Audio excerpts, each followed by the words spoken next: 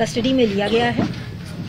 इनमें से नाम, एक का नाम विनय उर्फ़ लंबू है और दूसरा उसका सहयोगी नाबालिग है, जिसका नाम मैं अभी ले नहीं रही और हम काल्पनिक नाम उसको दे सकते हैं कोई। वो भी दोनों ही पाठकपुरा के रहने वाले हैं, जो बबरुहा का बगल का गाँव है। विनय उर्फ़ लंबू के का खेत इन बच्चियों के पैतृक खेत से सटा हुआ है और वह नित्य प्रतिदिन इन खेतों पर खेत की रखवाली करने, पानी चढ़ाने, घास निकालने इत्यादि के कामों से आता था। और लॉकडाउन के समय से उनका, उसका इस, इन लड़कियों से परिचय हो गया था। कड़ाई से पूछताछ करने के उपरांत विनय के द्वारा पूरे घटनाक्रम का खुलासा किया गया है। उसके द्वारा कन्फेशन किया गया है। उसके कन्फेशन के मुताबिक लॉकडाउन के समय से उसका, इनमें से एक बच्ची के साथ अच्छी दोस्ती हो गई थी। तीनों बच्चियाँ एक साथ खेतों पर अपने काम से जाती थीं, चारा काटने के लिए और लकड़ी बटोरने के लिए जाती थीं। उसे इनके दिन प्रतिदिन की क्रियाओं के बारे में मालूम था। वो भी उस हिसाब से अपने खेत पर जाता था। खेतों पर ही बैठ के दोनों आपस में बात करते थे। धीरे धीरे विनय को उस बच्ची से प्रेम हो गया और इसका उसने इजहार भी किया। उसने बच्ची से उसका फ़ोन नंबर भी मांगा। लड़की द्वारा अपना फ़ोन नंबर देने से मना कर दिया गया और इससे प्रेम के इजहार को भी नकार दिया गया, जिससे रुष्ट होकर उसने पहले उस पर दबाव डालने की कोशिश की कि वो बार बार प्रपोजल देने से संभवता या चिट्ठी भेजने से संभवतः लड़की स्वीकार कर लेगी। लड़की द्वारा अपना नंबर देने से मना करने के उपरांत ईर्ष्यावश उसके द्वारा ये घटना कारित की गई है। उसके घर में मौजूद खेती के काम में इस्तेमाल होने वाले कीटनाशक को उसके द्वारा पानी की बोतल में मिलाकर रखा गया था। कुछ नमकीन उसने अपने इस सहयोगी, नाबालिग लड़के को भेज के मंगवाया था। लड़कियाँ भी दुकान से उस दिन जो गाँव की एक दुकान है, वहाँ से कुछ नमकीन खरीद कर गई थी। इन लोगों ने विनय के खेत के पास में बैठकर नमकीन साथ में खाया, काफ़ी देर गपशप की, और उसके बाद विनय ने पानी की उस बोतल को अपनी उस दोस्त लड़की को दिया। लड़की के पीने के बाद उसकी दोनों बहनों ने भी छीनकर वो पानी पिया। विनय ने उनको मना करने की कोशिश की, लेकिन लड़कियों ने नहीं माना। और तीनों ने उस पानी का सेवन किया। पानी पीने के बाद लड़कियाँ बेहोश हो गईं और उनके मुँह से झाग आने लगा, जिस पर विनय और उसका साथी परेशान हो गए, पैनिक में आ गए और उसके बाद वो वहाँ से भाग गया उसकी, उसको कस्टडी में लेके उसके बयानों की पुष्टि की जा रही है और उसकी निशानदेही पर आगे की तफ्तीश जारी रहे।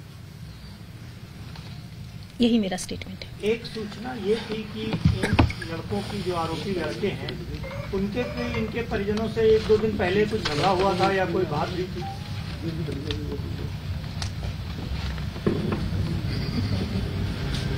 ऐसी सूचना हमें भी प्राप्त हुई है लेकिन इसकी अभी तक तस्दीक नहीं हो पाई है और इस दिशा में भी टीम भेज के सत्यापन कराया जा रहा है।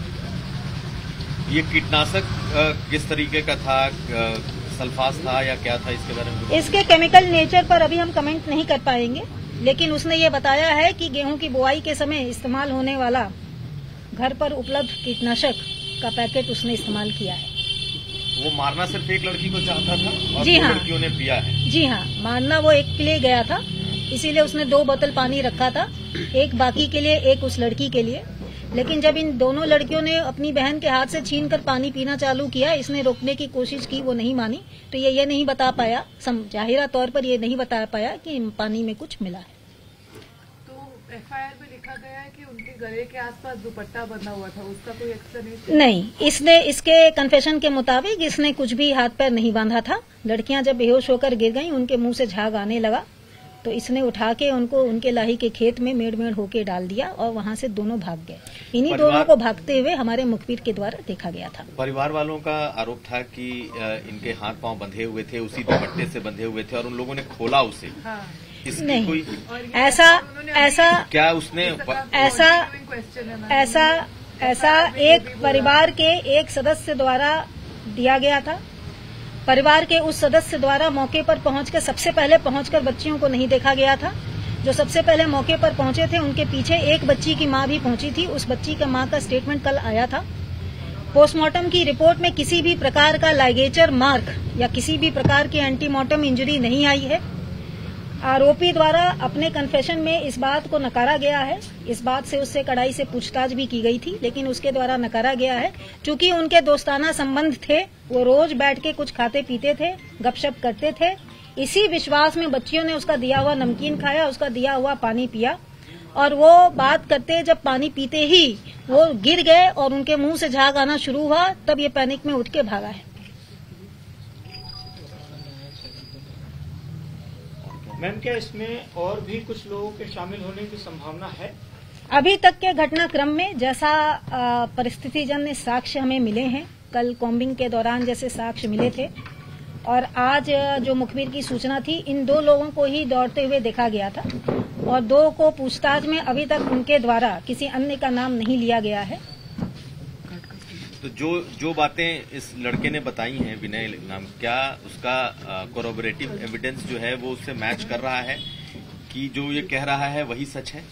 कोरोबेटिव एविडेंस के तौर पर इसके द्वारा लाया गया नमकीन का पैकेट, लड़कियों द्वारा लाया गया नमकीन का पैकेट कल कॉम्बिंग के दौरान फोरेंसिक टीम द्वारा बरामद किया गया था।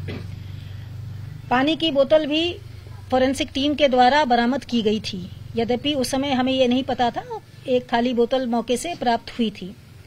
इसके द्वारा पिया जाने वाला और खाया जाने वाला सिगरेट का बट और पान मसाले का पैकेट भी कॉम्बिंग के दौरान मौकाए वारदात से फोरेंसिक टीम को बरामद हुआ था। इसके सीडीआर की एनालिसिस से भी मौके के समय, घटना के समय में, टेंटेटिव समय में जो ये समय बता रहा है, उस समय सीडीआर एनालिसिस में इसकी उपस्थिति उस जगह पर पाई गई है। लड़कियों के पास क्या मोबाइल्स थे वहाँ पर तीनों लड़कियों के पास और इनकी कंटिन्यूअस बात होती थी। जैसा कि इसने बताया है इसने लड़की से मोबाइल नंबर मांगा था लेकिन लड़की के द्वारा अपना मोबाइल नंबर नहीं दिया गया था और इसको झटक दिया गया था। और लड़के की कास्ट क्या है मैम लड़का जो विनय है वो धानुक जाति से है और जो इसका दूसरा साथी है वो रावत जाति से है।